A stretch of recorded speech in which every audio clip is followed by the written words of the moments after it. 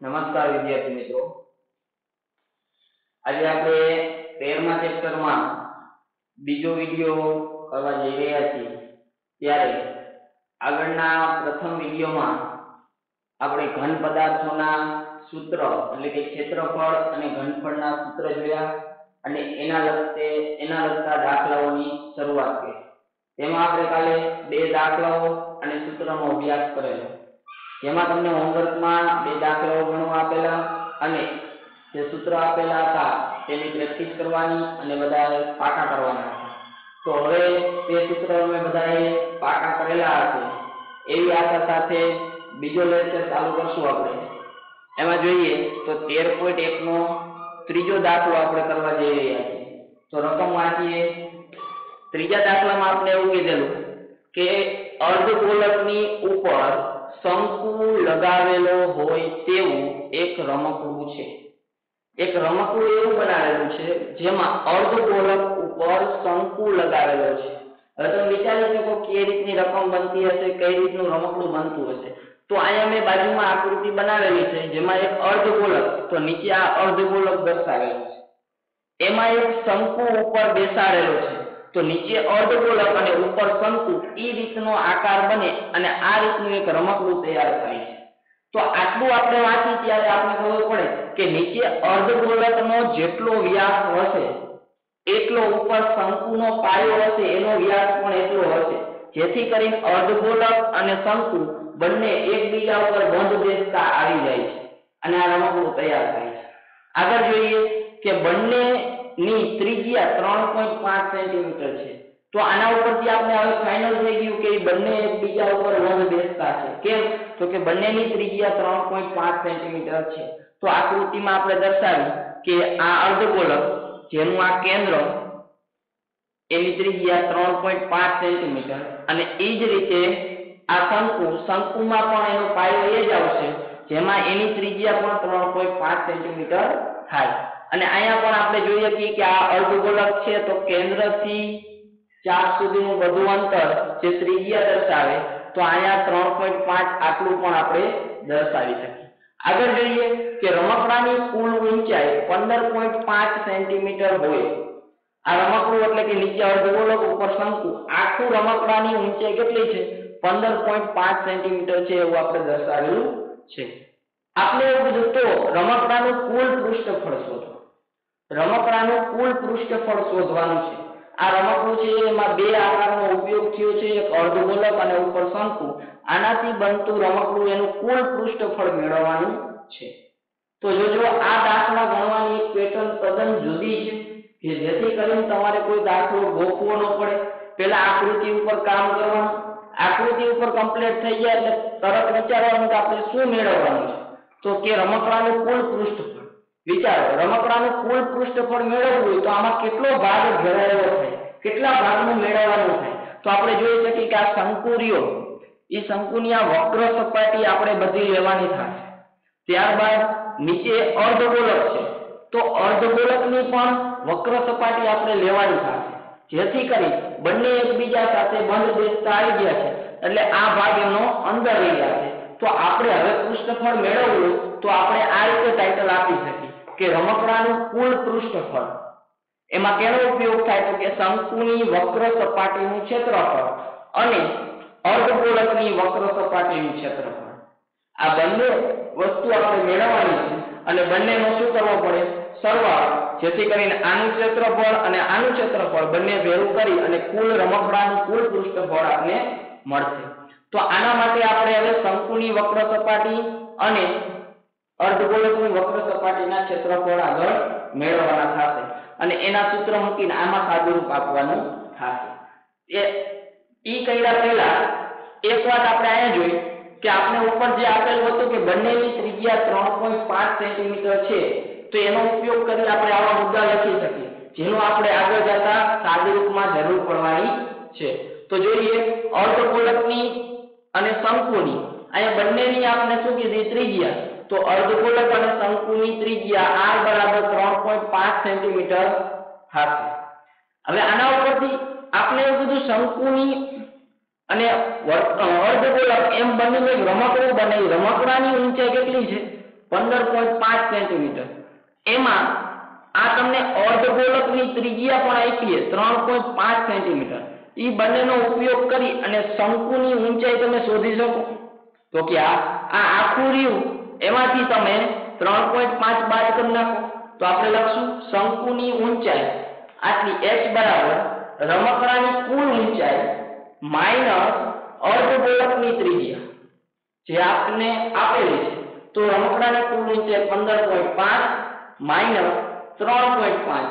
Point નીચે point રાખી અને બાદબાકી કરી.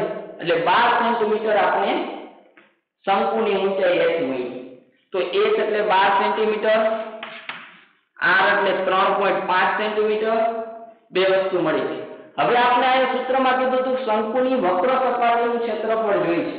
તો વક્ર સપાટીનું સૂત્ર મૂક્યું આપણે પાઈ આર એલ જેમાં પાઈ એટલે કિંમત આર એટલે શંકુની ત્રિજ્યા. અને એલ એટલે શંકુની તિર્યક ઊંચાઈ. તો રકમમાં આપણે ક્યાંય તિર્યક ઊંચાઈ બરાબર આટલા એવું કીધેલું નથી. તો એના માટે હવે આપણે શંકુની તિર્યક ઊંચાઈ મેળવવી જોશે. સૂત્ર લખી એલ સ્ક્વેર બરાબર R square plus H square L square બરાબર આર તો r તો ત્રણ પોઈન્ટ પાંચ આપેલા છે. એનો વર્ગ પ્લસ h. એચ અત્યારે મેળવા બાર બાર નો વર્ગ. ત્રણ પોઈન્ટ પાંચ નો વર્ગ, જે તમે ગુણાકારથી મેળવી શકો. આનો ગુણાકાર કરી અને એનો વર્ગ મેળવશો એટલે બાર પોઈન્ટ પચીસ મળશે. બાર પોઈન્ટ પચીસ અને 12 નો વર્ગ તો ખબર છે? એકસો ને ચુમ્માલીસ બંને નો સરવાળો કરશું. એકસો ને છપ્પન પોઈન્ટ પચીસ મળ્યો. જે આપણે એલ સ્ક્વેર બરાબર મળે છે. એલ સ્ક્વેરનું કામ નથી, આપણે તો વર્ગમૂળ એલ જોયું છે. તો એલ સ્ક્વેરનું વર્ગમૂળ એલ નીકળશે, પણ એકસો ને છપ્પન પોઈન્ટ પચીસનું વર્ગમૂળ નીકળતું નથી. તોય છતાંય કાઢવું છે. તો હવે પોઈન્ટ વાળાનું વર્ગમૂળ કેવી રીતે કાઢવું? જે આપણે ડાયરેક્ટ ખબર હોય નહીં. તો એના માટે એક પ્રયાસ આવો કરી શકાય. કે એકસો ને છપ્પન પોઈન્ટ પચીસ છે, તો એકસો છપ્પન કેની નજીક આવશે? તો એના માટે આપણે જોઈએ કે આપણે બાર નો વર્ગ કરી, તો એકસો ચુમ્માલીસ થાય. તેર નો વર્ગ કરી, એકસો ને ઓગણસિત્તેર થાય. તો એકસો ચુમ્માલીસથી એકસો ઓગણસિત્તેર વચ્ચે એકસો ને છપ્પન આવે. તો આ બંનેની વચ્ચે ક્યાંક એકસો છપ્પન વર્ગ છુપાયેલો છે. તો મતલબ બાર અને તેરની વચ્ચે કોક એવી સંખ્યા પોઈન્ટ વાળી હશે કે જેનો વર્ગ કરી તો એકસો છપ્પન પોઈન્ટ પચીસ થતો હશે. હવે બાર અને તેરની વચ્ચે સંખ્યા જોવા જાય તો બાર પોઈન્ટ એક, બાર પોઈન્ટ બે, બાર પોઈન્ટ ત્રણ, આમ કરતા કરતા બાર પોઈન્ટ નવ સુધીની કિંમત આવે. તો આટલી પોઈન્ટ વાળી કિંમતોમાંથી કોકની કિંમત શું થતી હોય છે? એનો વર્ગ કરો તો એકસો છપ્પન પોઈન્ટ પચીસ થતો હવે ઈ કેવી રીતે સિલેક્ટ કરવી? તો હવે આપણી પાસે પોઈન્ટ પાછળની કિંમત છે, એનો ઉપયોગ કરી શકાય. પોઈન્ટની પાછળ પચીસ છે. તો પચીસનું વર્ગમૂળ કાઢ્યું તો એ આપણને પાંચ મળે છે. તો આપણે બાર પોઈન્ટ પાંચ નો વર્ગ કરી તો એકસો ને છપ્પન પોઈન્ટ પચીસ આવવાની પૂરેપૂરી શક્યતા છે. તો અહીંયા આ પોઈન્ટ પાંચ ગુણ્યા બાર પોઈન્ટ પાંચ કરી શકાય. જેનો અહીંયા ગુણાકાર કરો એટલે ત્રણ અંક હોવાથી બે જીરો એક નો પાડો, એક જીરો બે નો પાડો પાંચ દુ દસ એક, બે દુ ચાર, એક પાંચ, બે એકા બે, પાંચ પાંચ પચીસ, બે, પાંચ દુ દસ, બે બાર એક, પાંચ એકા પાંચ, ને છ, પાંચ, બે, પાંચ, દસ, પંદર સોળ નો સગરો બીજા પડી એક એક, એકસો છપ્પન અને પચીસ. આવો મેં સરવાળો મેળવ્યો. એક આંકડા પછી પોઈન્ટ છે. તો એનો ગુણાકાર કરશું તો અહીંયા છેલ્લેથી બે આંકડા પછી પોઈન્ટ આવી જશે. તો ગુણાકાર કેટલો થશે? એકસો ને છપ્પન પોઈન્ટ પચીસ. તો એનો મતલબ બાર પોઈન્ટ પાંચ ગુણ્યા બાર પોઈન્ટ પાંચ કરી તો આપણે એકસો છપ્પન પોઈન્ટ પચીસ મળે છે. તેથી આપણે લખશું એકસો છપ્પન પોઈન્ટ પચીસની જગ્યાએ બાર પોઈન્ટ પાંચ નો વર્ગ. વચ્ચે બરાબર બંને બાજુ વર્ગ કાઢી નાખી. એલ બરાબર બાર પોઈન્ટ પાંચ સેમી. લખી શકાય. તો હવે આપણે એલ આર અને એચ ત્રણેયની કિંમત મળી ગઈ છે. હવે આગળ આપણે સૂત્રમાં વાત કરી હતી પાઈ આર એલ પ્લસ અર્ધગોલકની વક્ર સપાટીનું ક્ષેત્રફળ ટુ પાઈ આર સ્ક્વેર સૂત્ર બધાય બધાય બરોબર બધાને યાદ હશે. હવે આ બંનેનો સરવાળો કરવાનો છે. ડાયરેક્ટ કિંમત મૂકી તો પણ ચાલે, પરંતુ બંને પદમાં જેટલું કોમન હોય એટલું તમે લઈ લો આગળ. કોમન કાઢી લો વધેલી બીજા કાઉન્ટમાં પાછળ લખી નાખો. તો સાદું રૂપમાં સરળતા રહે તો જોઈએ આપણે પાઈ આર છે. ટુ પાઈ આર સ્ક્વેર એક તો પાઈ કોમન નીકળશે બંનેમાં છે. અહીંયા આર છે, અહીંયા આર સ્ક્વેર છે. આર સ્ક્વેર એટલે બે વખત આર તો એક વખત હું કોમન આર લઈ લઉં. અહીંયા એલ છે સામે સામે ક્યાંય એલ છે નહીં. તો પાઈ આર આપણે કોમન લઈ લઈએ. અહીંયાથી વચ્ચે એલ વચ્ચે પ્લસ ટુ વૈધા બે વખત આર હતા. એક વખત આગળ લઈ લીધા, એક વખત પાછળ વધેલા. તો હવે આપણી પાસે કાઉન્સ થઈ ગયો પાઈ આર કૌંસમાં એલ પ્લસ ટુ આર સાદુરૂપ આપવા માટે પાઈની જગ્યાએ બાવીસ ના છેદમાં સાત ગુણ્યા આર જે આપણે ત્રણ પોઈન્ટ પાંચ મેળ્યા, મૂકી દીધા. કૌંસમાં એલ એલ એટલે જે બાર પોઈન્ટ પાંચ મેળ્યા પીડીએફ ઊંચાઈ મૂકી દીધી. પ્લસ ટુ ના ટુ આર એટલે ત્રણ પોઈન્ટ પાંચ મૂકી દીધા. આ બધું પદ અત્યારે સેમ ટુ સેમ મૂકી દીધું. કેમ? તો કે કાઉન્સની અંદર જે કાઉન્સ આપેલા હોય, એનું સાદુરૂપ પહેલા આપવાનું થાય. બાર પોઈન્ટ પાંચ એમનો બે ગુણ્યા ત્રણ પોઈન્ટ પાંચ. ત્રણ પોઈન્ટ પાંચ ગુણ્યા બે કરશો એટલે સાત થશે. બાર પોઈન્ટ પાંચ પ્લસ સાત. હજી આ કાઉન્સનું સાદું. તો ઓગણીસ પોઈન્ટ પાંચ થઈ ગયા. આ બંનેનો સરવાળો. આ બાકી બધું એમ. બાવીસ ના છેદમાં સાત ગુણ્યા ત્રણ પોઈન્ટ પાંચ ગુણ્યા ઓગણીસ પોઈન્ટ પાંચ. ગુણાકાર સાઈડમાં તમે રફમાં કરો તોય કઈ વાંધો નથી. અને આ પોઈન્ટ કાઢી નાખો તો છેદમાં દસ પણ લખી શકો. તો પોઈન્ટ કાઢીને બંને પાસે દસ દસ લેખન. હવે અંશછેદ આના ઉડાડો એ ઉડાવે છે અંશછેદ ઉડાડે અહીંયા સાત. અહીંયા સાત પચાસ પાંત્રીસ. ઉપર જોઈએ. પાંચ દસ એક પાંચ નીકળી ગયા બાવીસ બાવીસમાં અગિયાર તો બાવીસ બે નીકળી ગયા. તો આપણી પાસે અગિયાર, એકસો પંચાવન બે કિંમત અંશમાં વેધી છેદમાં ખાલી દસ વેધા દસ મૂકી દીધા. અગિયાર ગુણ્યા એકસો પંચાવન બંનેનો ગુણાકાર રકમમાં કરી શકાય. તો એકવી પિસ્તાલીસ મળશે. એને ભાગ્યા દસ કરશું. તો છેદમાં દસ છે તો એક પોઈન્ટ આપણે કાપી શકશું. તો અહીંયા એકવી પિસ્તાલીસ જગ્યાએ બસો ચૌદ પોઈન્ટ પાંચ સેમી સ્ક્વેર એવું લખી શકાય. આ પણ યાદ રાખવાનું. એકમ દર વખતે આપણે લખવાનું છે. ઉપર તમને સેન્ટીમીટરમાં આપેલું છે તો આપણો એકમ ક્ષેત્રફળનો થશે સેમી સ્ક્વેર તો આનો ફાઇનલ જવાબ આપણે છેલ્લે લખી શકીએ કે આમ રમકડાનું કુલ પૃષ્ઠફળ બસો ચૌદ પોઈન્ટ પાંચ સેમી સ્ક્વેર થાય. આ તમે દાખલો ગણો ત્યારે આ વાક્ય પૂરું લખવાનું. કે આમ રમકડાનું કુલ પૃષ્ઠફળ બસો ને ચૌદ પોઈન્ટ પાંચ સેમી સ્ક્વેર થાય. આ વખતે આપણે દાખલા નંબર ત્રણની તેર પોઈન્ટ એક માં હોમવર્કમાં એક દાખલો અહીંયા આપી દઉં. જે આપણું ઉદાહરણ નંબર એક છે. આ ઉદાહરણ નંબર એક આ જ રૂપની પેટર્નથી ગણવાનું છે. અને બધાને આવડી જાય છે. તો આ ત્રીજો દાખલો અત્યારે આપણે જોયો. આગળનો દાખલો જોઈએ. જોઈએ આગળનો ચોથો દાખલો, દાખલા નંબર 4 માં આપણે શું કીધેલું તો કે 7 સેમી બાજુવાળા સમઘનની ઉપર અર્ધગોલક મૂકેલો છે. બધી જગ્યાએ ઘન પદાર્થ બે અથવા ત્રણ મિક્સ કરી અને કોઈ આકાર બનાવેલો હોય કે કોઈ વસ્તુ બનાવેલી હોય, એનું આપણે ક્ષેત્રફળ મેળવવાનું થાય. તો આ દાખલામાં પણ એવું જ છે કે એક સમઘન આપ્યો છે જેની બાજુનું માપ સાત સેમી છે. તો આપણે કાંઈ સમઘન દોર્યો. એની બાજુના માપ આપણે સાત કીધા. લંબાઈ પહોળાઈ ઊંચાઈ બધી સાત જ છે. અને એમ કીધું કે એના ઉપર એક અર્ધગોળક મૂકેલો છે. તો અર્ધગોળકનો મહત્તમ વ્યાસ શું હોઈ શકે? અર્ધગોળક જે આપણે ઉપર ગોઠવો, અહીંયા જેટલી બાજુ અહીંયા સાત છે તો એવી જ્યારે કોણ છે, ઉપરની હશે આપણે ખબર છે, સમઘનમાં આકાર થઈ ગયા તો કે છ દિવાલ બને. ચાર ફરતે બાજુની, ઉપરની અને નીચેની. છ દિવાલ બને, છ એ છ દિવાલ માપની રીતે સમાન એને સમઘન કહેવાય. એમાં ઉપરનો જે ભાગ રહ્યો, એમાં એક અર્ધગોલક ઉપર મૂકેલો છે. અને એવું કીધેલું કે અર્ધગોલકનો મહત્તમ વ્યાસ, આ વ્યાસનો ગાળો શું હોઈ શકે? આ રીતે બનેલા પદાર્થનું કુલ પૃષ્ઠફળ મેળવો. આ રીતે જે પદાર્થ બન્યો, આ તમને દેખાય છે તે આકૃતિમાં. એનું કુલ પૃષ્ઠફળ મેળવો. મતલબ બે સવાલ છે. પહેલો સવાલ છે, અર્ધગોલકનો મહત્તમ વ્યાસ શું હોઈ શકે? તો આપણે સમજી છીએ કે અહીંયા તમે આ સપાટી ઉપર મૂકો અને અર્ધગોલક તમે અહીંયા ગોઠવો, તો અર્ધગોલકના જે બંને છેડા રહ્યા, એ બંને છેડા બંને દિવાલ ઉપર આવશે.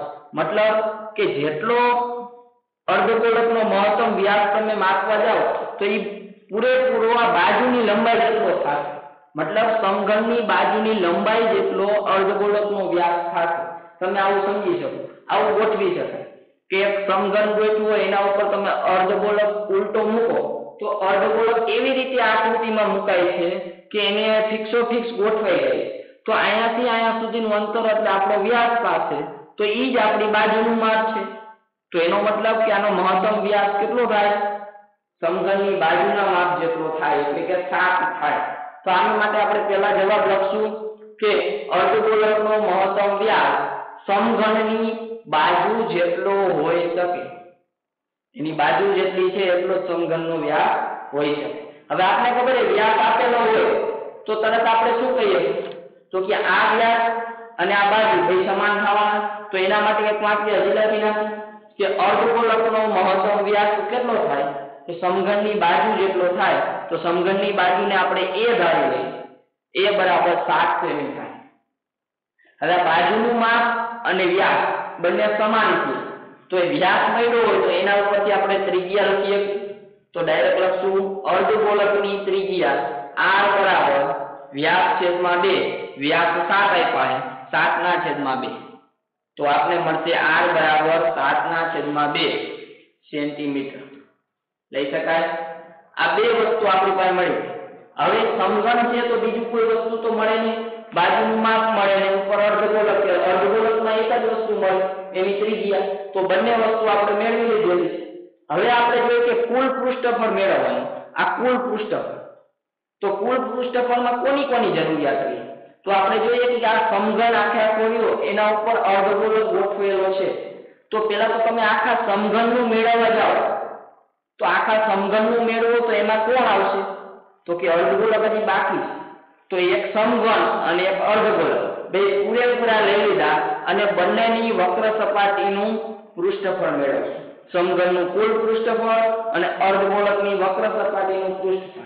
હવે તમે જોઈએ કે નીચે સમઘન છે એટલે છ એ છ બાજુનું એમાં પૃષ્ઠફળ મળશે. ઉપર અર્ધગોળક ગોઠવેલો છે. તો અર્ધગોળક અને નીચે સમઘન બંનેની વચ્ચે જે ભાગ આપણે જોઈ નથી શકતા. એ વચ્ચે ભાગ ઘેરાયેલો રહ્યો એ ભાગ આપણે શું કરવો જોઈએ બાદ કરવો જોઈએ તો અત્યારે તમને આ ઉપર જે આકાર દેખાય, એની વક્ર સપાટી, સમઘનનું કુલ પૃષ્ઠફળ, બંનેનો સરવાળો કરીએ. હવે તો કે અર્ધગોળક જે રહ્યો, એનો પાયો અંદર ઘેરાયેલો છે. અંદર દેખાતો નથી, અંદર છે. તો એ પાયો શું કરવો જોશે?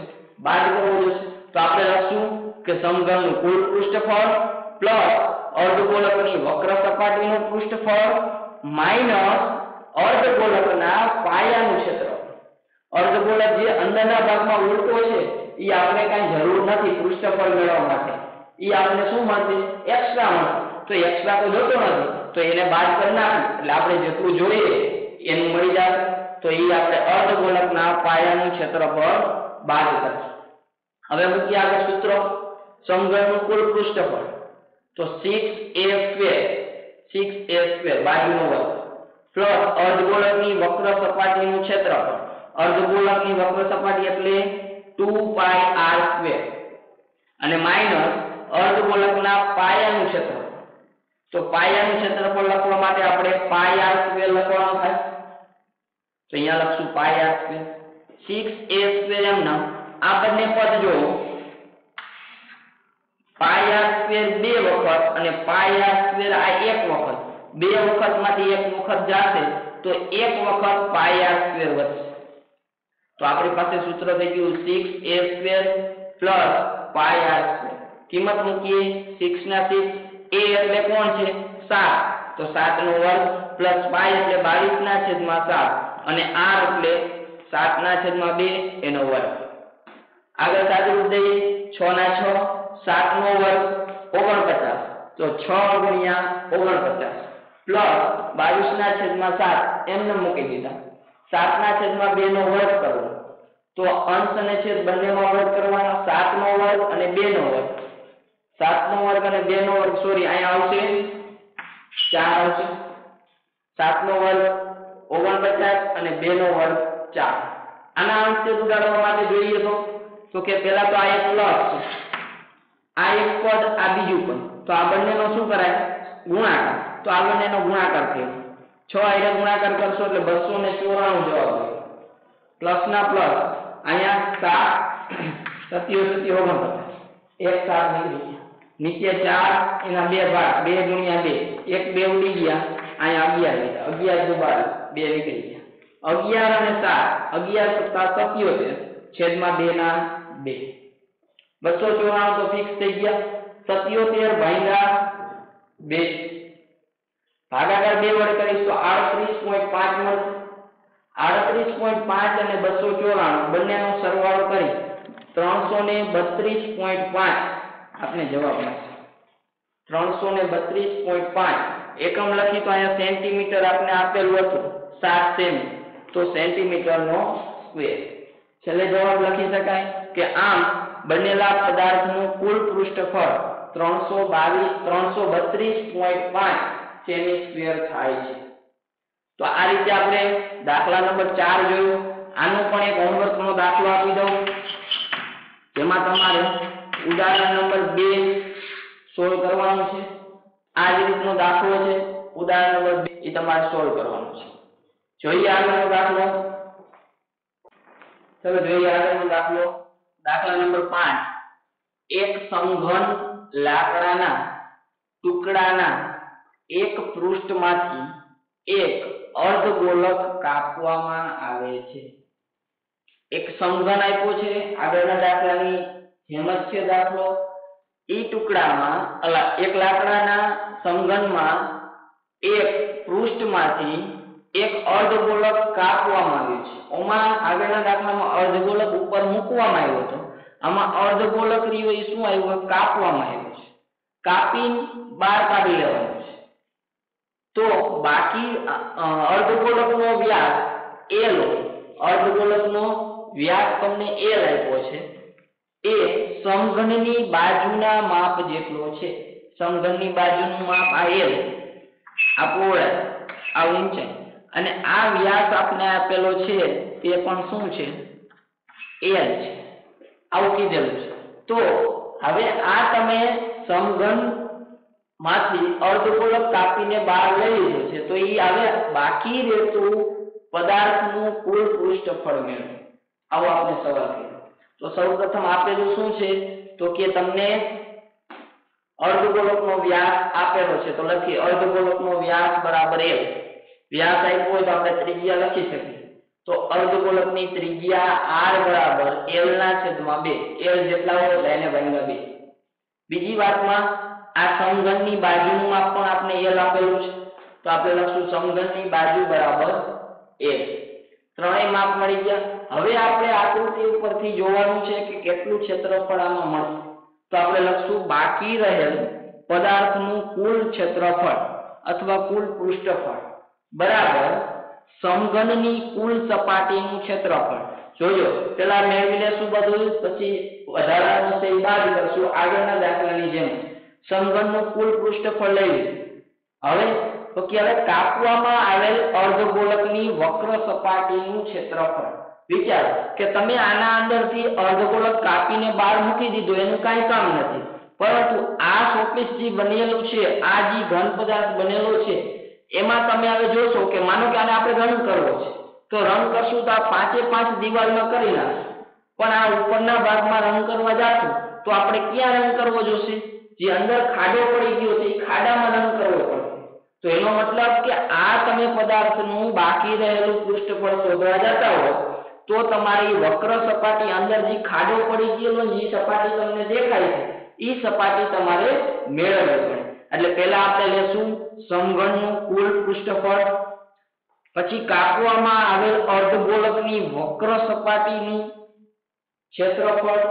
આટલું લેશું તો આપણે આમાં શું મળશે તો કે આટલું લેવા જાશું તો આપણે કાપવામાં આવેલ જે અર્ધગોળક છે, એના પાયાનું ક્ષેત્રફળ પણ સાથે જ મળશે.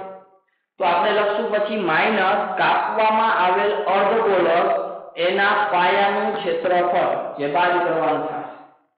તો આ રીતે આપણે સૂત્ર મૂકી સમઘનની કુલ વક્ર સપાટીનું ક્ષેત્રફળ, કુલ સપાટીનું ક્ષેત્રફળ 6l સ્ક્વેર l એટલે બાજુ. બાજુનો વર્ગ આગળ ગુણ્યા 6 પ્લસ અર્ધગોળકની વક્ર સપાટી. તો 2 પાય r અને પાયાનું ક્ષેત્રફળ અર્ધગોળકનું તો પાય r સ્ક્વેર 6l સ્ક્વેર એમનો 2 pi r square minus pi r square આગળમાં જોયું બે વખત પાય r સ્ક્વેર એક વખત બાદ કરી તો એક વખત પાય r સ્ક્વેર વધે. 6l સ્ક્વેર એમનો પાય એમનો r. r અત્યારે આપણે આપેલા છે l ના છેદમાં 2 l ના છેદમાં 2 એનો વર્ગ. 6l સ્ક્વેર એમનો પ્લસ પાય ના પાય l છેદમાં 2 આખા કૌંસનો વર્ગ. તો l નો વર્ગ 2 નો વર્ગ એટલે 4 અહીંયા જોઈએ તો six L square plus five L square છેદમાં ચાર. છેદમાં ચાર એ આપણે લસા લેશું ચાર લસા લેશું આની પાસે ચાર નથી. ચાર અહીંયા ગુણાવશું, છ ચોક ચોવીસ L square plus pi L square છેદમાં ચાર. હવે ચોવીસ એલ સ્ક્વેર ને પાય એલ સ્ક્વેર બેનો ડાયરેક્ટ સરવાળો દેખાતો નથી. કેમ કે પાય છે એટલે. તો એલ સ્ક્વેર બંનેમાંથી કોમન લઈ લેવાય. તો એલ સ્ક્વેર બાજુનો વર્ગ કોમન લીધો. છેદમાં ચાર એ તો લખી શકાય. આટલું જુદું લખી નાખ્યું. અહીંયાથી એલ સ્ક્વેર લઈ ગયા, તો ચોવીસ વધ્યા અહીંયાથી એલ સ્ક્વેર વયા ગયા, તો પાઈ વધ્યા ચોવીસ પ્લસ પાય આ આપણો ક્ષેત્રફળનો એટલે કે કુલ પૃષ્ઠફળનો જવાબ થયો. એલ સ્ક્વેર છેદમાં ચાર કૌંસમાં બાર, ચોવીસ પ્લસ પાય હવે તમે જુઓ તો ઉપર તમને ખાલી વ્યાસ એલ કહી દીધેલો. કઈ એકમ આપેલો નથી. તો આપણે અત્યારે એકમનો આપેલો તો એકમનો વર્ગ એવું લખી શકાય જે એકમ આપ્યો, આપણે એકમનો વર્ગ. આપણે યાદ રાખવાનું કે પૃષ્ઠફળ મેળવવા જાવ ત્યારે એકમ વગરનું રાખવાનું નહીં. કાંઈ એકમનું આપ્યું તો શું લખવાનું? એકમ સ્ક્વેર આવું લખી તો આ રીતના દાખલાની રકમ પણ બની શકે છે કે જેમાં તમને કોઈ સંખ્યાત્મક માર્ક આપેલું નથી કે આટલી બાજુનું માપ થાય છે આટલા વ્યાસ, આટલી સેન્ટીમીટર કે આટલા મીટરનો થાય છે એવું કંઈ કીધું નથી. ખાલી સંકેતથી દાખલો આપેલો છે. તો પણ આ રીતનો દાખલો બની શકે છે. તો આ તો પાંચમો દાખલો. આગળનો દાખલો જોઈએ. ચાલો જોઈએ આગળનો દાખલો. દાખલા નંબર છ. એકદમ સરળ દાખલો છે અને વ્યવસ્થિત સમજાય એવો પણ દાખલો છે. જોઈએ કે જેમાં કીધેલું છે, દવાની એક કેપ્સ્યુલ નો આકાર આપણે મેડિસિન લેતા હોય, દવાઓ લેતા હોય, કે જેમાં કેપ્સ્યુલ આવે તો કેપ્સ્યુલ નો આકાર કેવો હોય આપણે જોઈશું તો કેપ્સ્યુલ નો આકાર નળાકારની બંને બાજુએ અર્ધગોલક લગાવેલા હોય તે રીતનો છે. તો એની આકૃતિ આ છે. આ નળાકાર ભાગ અને બંને છેડે એક એક અર્ધગોલક લગાવેલા હોય. મતલબ બે અર્ધગોલક લગાવેલા અને વચ્ચે નળાકાર. આ રીતની કેપ્સ્યુલનો આકાર છે. કેપ્સ્યુલની લંબાઈ કેપ્સ્યુલની ટોટલ લંબાઈ ચૌદ એમ એમએમ એટલે કે મીમી છે. અને તેનો વ્યાસ પાંચ મીમી છે. તેનો વ્યાસ એટલે તો કે નળાકાર આકૃતિ થયા, નળાકારના બંને છેડા અર્ધગોળક છે. તો એ નળાકારનો કે અર્ધગોળક બંનેનો વ્યાસ ગણો, તો એ શું થશે? પાંચ મીમી થશે. તો કેપ્સ્યુલનું પૃષ્ઠફળ શોધો. આખી કેપ્સ્યુલનું પૃષ્ઠફળ શોધો, કેટલું મળશે? તો આપણે જોઈએ કે કેપ્સ્યુલનું પૃષ્ઠફળ શોધવા માટે કેની જરૂર તો કે કેપ્સ્યુલમાં એક વચ્ચેના ભાગમાં નળાકાર છે અને બંને બાજુ અર્ધગોળક લગાવેલા છે. તો આપણે કહી હતી કે કેપ્સ્યુલનું પૃષ્ઠફળ બરાબર નળાકારની વક્ર સપાટીનું ક્ષેત્રફળ આ નળાકારની વક્ર સપાટી ઉપયોગમાં આવે છે. અને બંને બાજુ એકુકા અર્ધગોળક છે. તો આમાં પણ બહારની સાઈડ અર્ધગોળકની વક્ર સપાટી. અહીંયા અર્ધગોળકની વક્ર સપાટી. તો બે વખત અર્ધગોળકની વક્ર સપાટી આમાં ક્ષેત્રફળમાં લેવાની તો હું આ રીતે સૂત્ર લખી શકું કેપ્સ્યુલનું પૃષ્ઠફળ બરાબર નળાકારની વક્ર સપાટીનું ક્ષેત્રફળ પ્લસ બે ગુણ્યા અર્ધગોળકની વક્ર સપાટીનું ક્ષેત્રફળ. અથવા એવું પણ કરી શકાય કે પ્લસ અર્ધગોળકની વક્ર સપાટીનું ક્ષેત્રફળ પ્લસ ઈ ની બીજી વખત અર્ધગોળકની વક્ર સપાટીનું ક્ષેત્રફળ. અથવા બે ગુણ્યા કરો તો પણ ચાલે હવે આપણે જોઈએ છે અર્ધગોળકની વક્ર સપાટીનું ક્ષેત્રફળ અને નળાકારની વક્ર સપાટીનું ક્ષેત્રફળ. તો એના માટે આપણે શું શું આપેલું છે? તો એક તો કીધેલું કે કેપ્સ્યુલની કુલ લંબાઈ ચૌદ મિલીમીટર છે, મીમી છે. તો આપણે લખી કેપ્સ્યુલની લંબાઈ ચૌદ મીમી. બીજું કીધું કે તેનો વ્યાસ પાંચ મીમી છે, તો લખી વ્યાસ બરાબર પાંચ મીમી. વ્યાસ આવે એટલે આપણે તરત કેપ્સ્યુલની ત્રિજ્યા શોધી લીધી વ્યાસના છેદમાં બે પાંચના છેદમાં બે બે પોઈન્ટ પાંચ મીમી, કહી શકાય. હવે આ આખી તમને કેપ્સ્યુલની લંબાઈ આપેલી છે. એમાં અહીંયાથી આટલું અથવા અહીંયાથી આટલું, આ પણ પાંચ અને આ પણ પાંચ કહેવાય. એવી રીતે આ પણ પાંચ અને આ પણ પાંચ કહેવાય. તો આ બંને પાંચ પાંચ મીમીના સોરી પાંચ પાંચ મીમીના વ્યાસ આપેલા છે. તો આ બંને આપણે એમ કહીએ કે બે પોઈન્ટ પાંચ થાય. એટલે કે અઢી અઢી mm ની ત્રિજ્યા થાય તો બે પોઈન્ટ પાંચ, બે પોઈન્ટ પાંચ mm ની ત્રિજ્યા થઈ હવે તમે વિચારો કે મારે આ ચૌદ રહ્યું આખું કેપ્સ્યુલની લંબાઈ આપેલી હોય, એમાંથી ખાલી નળાકારની લંબાઈ જોતી હોય, તો મતલબ નળાકારની ઊંચાઈ જોતી હોય તો આ કેપ્સ્યુલના ઊંચો કરી નાખો, ઉલટો કરી સીધો. તો એ નળાકારની લંબાઈ એ જ નળાકારની ઊંચાઈ એટલી છે. તો આ બંને ભાગ નીકળી જાય કુલમાંથી તો વાહે વધે કેનું હોય? નળાકારની ઊંચાઈ હોય. તો આપણે લખશું નળાકારની ઊંચાઈ બરાબર કેપ્સ્યુલની કુલ લંબાઈ ચૌદ માઇનસ કેપ્સ્યુલની ત્રિજ્યા. પણ કેપ્સ્યુલની ત્રિજ્યા જો આટલી છે અને અહીંયા પણ છે. આ બંને ત્રિજ્યા કાઢવાની થાય.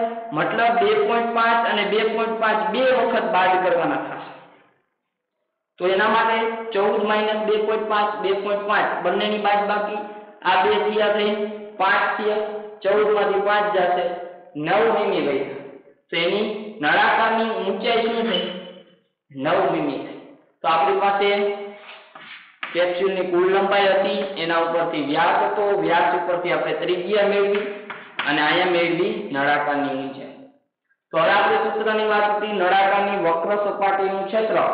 તો લખશું two pi R H plus બે ગુણ્યા, આ બે ગુણ્યા ટુ પાય આર સ્ક્વેર અર્ધગોળકની વક્ર સપાટી ટુ પાય આર બંનેનો ગુણાકાર કરીને કર્યા ફોર પાય આર સ્ક્વેર આ સૂત્ર એમ.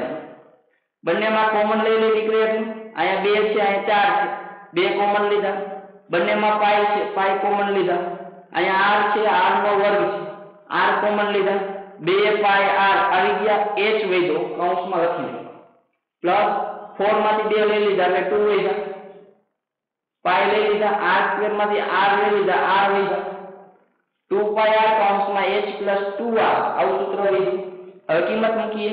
બે ના બે પાઈની જગ્યાએ બાવીસ છેદમાં સાત, ગુણ્યા આર એટલે તો આર મેળવા બે પોઈન્ટ પાંચ, તો બે પોઈન્ટ પાંચ મૂકી દીધા. કૌંસમાં એચ એચ એટલે નળાકારની ઊંચાઈ નવ મેળવી, નવ લખશું પ્લસ બે ગુણ્યા આર આર એટલે બે પોઈન્ટ પાંચ. તો બે ગુણ્યા બે પોઈન્ટ પાંચ. બે બાવીસ છેદમાં સાત, બે પોઈન્ટ પાંચ ને લખ્યા પચીસ ના છેદમાં દસ પોઈન્ટ કાઢીએ. કૌંસમાં નવ ના બે ગુણ્યા બે પોઈન્ટ પાંચ. તો પાંચ સાથે પૂરા. તો નવ પ્લસ પાંચ. બાકી બધું એમ નવ પ્લસ પાંચ ગુણાકારમાં ચૌદ કર્યા, બંનેનો સરવાળો અહીં ચૌદ લખશું હવે આના અંતે સુધારશું અંતે સુધારવામાં શું કરશું? તો કે જો અહીં બે છે, સાત છે, બાવીસ, પચીસ, દસ અને ચૌદ. અંતે સુધારી દો સાત. સાત દુ ચૌદ કરશું. સાત સાત નીકળી ગયા. અહીંયા દસ ના ભાગમાં પાંચ દુ દસ. એના સામે બે નીકળી ગયા. અહીંયા બીજા પચીસ, પાંચ પાંચ, પચીસ, એક, પાંચ ને આ તો ઉપર પાંચ અને બે. કઈ વધ્યું નથી. બાવીસ ગુણ્યા પાંચ ગુણ્યા બે. તો પાંચ દુ દસ. દસ ગુણ્યા બાવીસ એટલે બસો ને વીસ. મિલીમીટર મિમીનો સ્ક્વેર અહીંયા ખાલી મીમી એકમ હતા. લંબાઈમાં, વ્યાસમાં, ત્રિજ્યામાં લીધા, ઊંચાઈમાં લીધા, એવી રીતે ક્ષેત્રફળમાં મિલીનો સ્ક્વેર. તો આ વાત હતી કેપ્સ્યુલની, કે કેપ્સ્યુલનું ક્ષેત્રફળ મેળવવા માટે શું લાગુ પડે? એક નળાકાર અને બે અર્ધગોલકની વક્ર સપાટી. આટલો સરવાળો કરી અને સાદું પાકો એટલે આપણે ટોટલ કેપ્સ્યુલનું પૃષ્ઠફળ મળે. આ તો દાખલા નંબર છ. આગળ જોઈએ. જોઈએ આગળ. સાતમો દાખલો જેમાં રકમમાં કીધેલું એક તંબુનો આકાર નળાકાર ઉપર શંકુ મૂકવામાં આવેલ હોય તેવો છે. એક તંબુ એવું બનાવેલું કે જેમાં એક નળાકાર નળાકાર ઉપર શંકુ ગોઠવી દીધો. તો આ રીતનો આકાર થાય, આ રીતનું તંબુ છે તૈયાર. હવે જો નળાકાર ભાગની ઊંચાઈ આ નળાકાર ભાગો એની ઊંચાઈ અને એનો વ્યાસ કેનો? નળાકારનો. નળાકારનો વ્યાસ આટલો થાય આપણે કહી શકાય. આ અનુક્રમે બે પોઈન્ટ એક મીટર અને ચાર મીટર હોય તો હોય તથા ઉપરના ભાગની તીર્ય ઊંચાઈ, ઉપરનો ભાગ એટલે શંકુ. શંકુની તીર્ય ઊંચાઈ બે પોઈન્ટ આઠ હોય તો આ તંબુ બનાવવામાં વપરાતા કેનવસ. કેનવસનું ક્ષેત્રફળ શું હવે આ બધું તો ઠીક આપણે એવો વિચાર કેનવસ એટલે શું? તો કેનવસ એટલે કોઈ નવીન વાત નથી. પણ પરંતુ તંબુ બનાવવાનું એક કાપડ છે, એ કાપડનું નામ છે કેનવાસ. એટલે ડાયરેક્ટ ત્યાં કેનવાસ શબ્દ વાપરે એટલે યાદ આવી જાય કે કેનવાસ કોણ છે? તો કે જે તંબુ બનાવવામાં કાપડ વપરાય, એનું નામ શું? કેનવાસ તો એ કેનવાસનું ક્ષેત્રફળ શોધો? મતલબ આ તંબુ બનાવવામાં વપરાતા કાપડનું ક્ષેત્રફળ શોધો. આવો સવાલ છે. હવે ક્ષેત્રફળ શોધાઈ જાય પછી હજી એક સવાલ કે જો કેનવાસ નો ભાવ, એટલે કે એ કાપડનો ભાવ, રૂપિયા પાંચસો પ્રતિ મીટર સ્ક્વેર, એક મીટર સ્ક્વેર ના પાંચસો રૂપિયા હોય, તો તેમાં વપરાતા કેનવસની કિંમત પણ શોધો. તો એ કેનવસ કેટલું વપરાય? કેટલા રૂપિયાનું વપરાય એ પણ આપણે શોધવાનું છે. તો શરૂઆત કરી સૌપ્રથમ આ જે રકમ આપેલી છે એના ઉપરથી. તો આપણે આપેલું છે નળાકારની, નળાકાર ભાગની ઊંચાઈ કેટલી છે? h બરાબર બે પોઈન્ટ એક મીટર. અને એનો વ્યાસ, નળાકારનો વ્યાસ ચાર મીટર. વ્યાસ ઉપરથી ત્રિજ્યા હતી. r બરાબર ચાર ના છેદમાં બે બરાબર બે મીટર.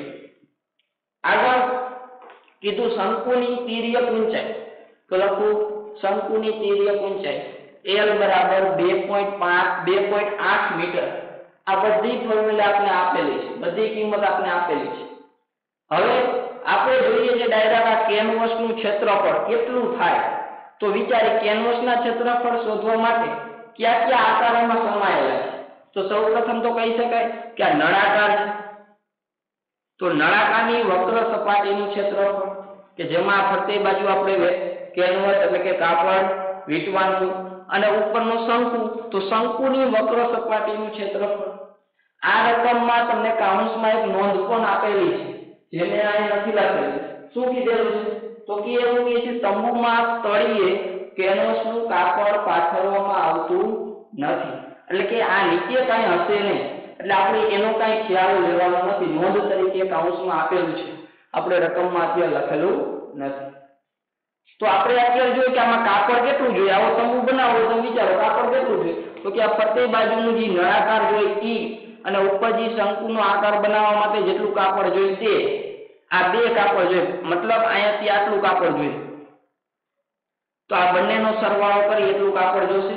તો આપણે લખ્યું નળાકારની વક્ર સપાટીનું ક્ષેત્રફળ પ્લસ શંકુની વક્ર સપાટીનું ક્ષેત્રફળ શંકુની વક્ર નળાકારની વક્ર સપાટી તો કે 2 પાય r h સૂત્ર પ્લસ શંકુની વક્ર સપાટી તો પાય r h બંનેમાં કિંમત મૂકતા પહેલા સરખું એટલું કોમન લઈ લઈ તો અહીંયાથી પાઈ પાઈ બંને પાસેથી કોમન લીધા એક r એક r કોમન લીધા અહીંયાથી 2 અને h વધ્યા પ્લસ અહીંયાથી l વધ્યા 2h l કિંમત મૂકીએ પાઈ એટલે 22 ના છેદમાં 7 ગુણ્યા r r એટલે જોઈએ 2 મીટર 2 કૌંસમાં 2 ગુણ્યા h h એટલે 2.1 મૂકી દીધા.